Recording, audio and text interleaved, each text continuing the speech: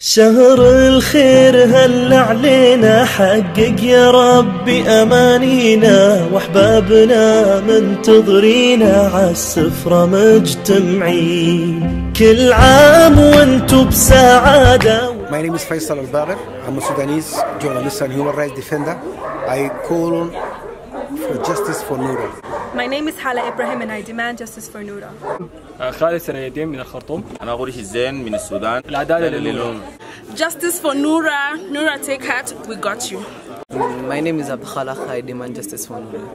Naitwa Tania kutoka Kenya and tunasimama na Nora na tunataka apewe haki yake. Justice for Nora. My name is Zakaria Muhammad. My name is Faisal Ahmed And we demand justice for Noura. Hi, my name is Ramla Ahmed and I demand justice for Noura.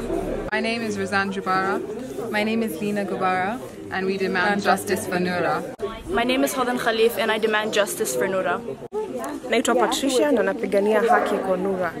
We demand justice for Noura.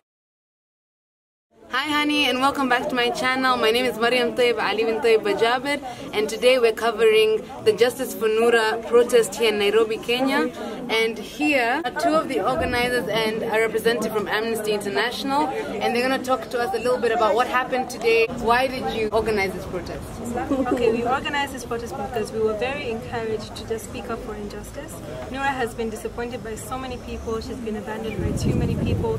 The law let her down. Her family let her down when they disowned her. But we won't do that because we will speak up for injustice and we will give her a voice that she was not privileged enough to. Not only that, it's also basic human rights to stand up for Noura. It doesn't matter if you're a woman, it doesn't matter if you're a man, it doesn't matter which gender, which uh, religion you're from. It's about basic human rights. So as a human being, I feel as though everybody's obliged to stand up for her. And what brought Amnesty International here? Like what was so important about Noura's story and what happened that brought your attention to it? Of course, as she said, it's all about human rights, but also Amnesty has a very special place for death penalty, so you can't just go killing people. And for this case, Noura is a very special case because she was raped. So you, cannot inflict death penalty to a rape victim. It's wrong. And although they say they were married, marriage, marriage is not consent for marital, marital rape. Marital rape is still rape. Yeah. I think we really all just want to real, we want everybody around the world to recognize what marital rape actually is, um, because a lot of countries don't recognize marital rape. Um, and so you could be in a situation where you feel like you're completely safe. This is your so-called husband, but um, you're in a you're in a situation where you're completely vulnerable. So And it really wasn't her husband because she had she no consent. exactly. And even if it was her husband, you know, we need to realize if we don't realize marital rape as the crime that it is, we will never find a reason for Noura to be defending herself.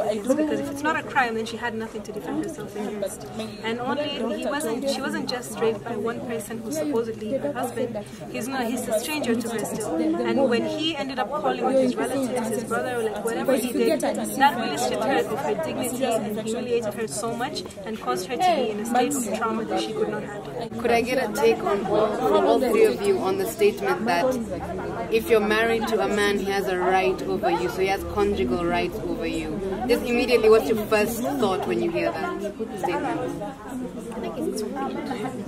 Just because we are, mar- we are married or because we are married institution, it doesn't mean you get it without my consent. It's a a 50-50. If I don't want it, nay. I think it takes you back to the hashtag my body my choice.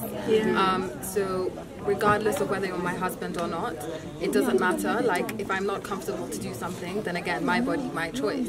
So that's what it goes by. It's as simple as that. And I feel like if you go ahead without getting consent, it's kind of like you're objectifying the woman so much, making her like an object. Because if it's an object, like you can pick up the phone, you can throw something, you can do whatever you want. And now if you go to your wife and do what you want to do without her consent, that also means that you're treating her the way that she's not supposed to be treated. Like an And object rather than a person. Definitely. I think many men, and- or many just people in general, they really mistake marriage, like they think of it as ownership rather than guardianship. You should be taking care of your wife. You don't own her. You don't do whatever you want to do. Well, thank you so much to all of you for organizing this, for coming and giving coverage to this or giving support to this. we all think that everybody here is like-minded. We might have some views that differ, but I feel like we all agree on the fact that Noura has rights over her own body. She had a right to consent to that marriage which she was not given, and we're all here to stand up for Noura because Noura represents all women that are who face such things. Even here in Kenya, where uh, marital rape is not seen as illegal, women here in Kenya probably go through this, and we're all silenced because of the society doesn't accept that this is a wrong. And I feel like this is a really good step forward because we might just be here making noise. Some people might call it that, but we're showing other women that it is okay for you to speak up if something like this happened to you. We're not going to judge you, we're not going to harm you, and we're trying. This is one step into destroying rape culture. Because what's happening to Noura is that she's been made, she's the victim, and she's being the one who's being made into the villain. She's the one being judged, exactly. Exactly. Exactly. So thank you so much to all of you, and thank you to everybody who came. Why are you here? Well, being Sudanese, I'm Sudanese by um, nationality and Kenyan at the same time, and um, I'm a woman as well, and not far off from Noura's age, to be honest, like young adults, and I think it's absolutely disgusting. It's a mess. I don't think in any way or form she should be. She should have to go through these things. She's currently sitting probably in a jail cell at the moment. Nobody's even thought about what she's feeling, the trauma that she's had to go through um, after you know what's just happened. So that's why I'm here, and I think it's for a good cause. Um, I feel like I can really relate to Noura because not only is she Muslim, she's a woman, but she's also African and from Sudan. Um, so I just feel as though Noura has not only been abandoned by her family, but she's also been abandoned by the law. So the least that I could do is support her today, and so I fully stand with Noura. I'm here because there are many more women than Noura. This is more than Noura. There are millions of faceless women out there and a great percentage of young girls who are forced into marriages, and we need to stand for them now. اسمي فيصل الباقر أنا صحفي وناشط حقوق إنسان. أنا هنا للدفاع عن حق نورة في الحياة. العدالة لنورة الحرية لنورة. نورة ليست هي الشابة السودانية الوحيدة التي تعاني من هذه القوانين الجائرة. لا بد من تعديل القوانين لنضمن أن القوانين تتوائم مع الدستور السوداني وتتوائم مع الالتزامات السودانية مع التزامات حقوق الإنسان السودانية. العدالة لنورة الحرية لنورة. ونحن سنظل ندافع عن حقوق الإنسان. أنا سعيد جدا أن أعداد كبيرة من الأجيال الجديدة من مدافعين حقوق الإنسان ومدافعات حقوق الإنسان هم الآن في ساحة النضال من أجل حقوق الإنسان من أجل الكرامة من أجل الحرية ومن أجل حقوق الإنسان.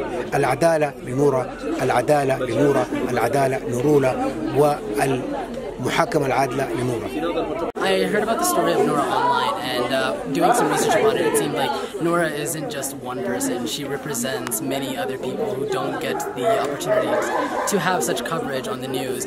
We live in an era where other things that don't really mean life or death capture the news and they get all the coverage, whereas when someone's life hangs in the balance, there's still no one there to tell the story.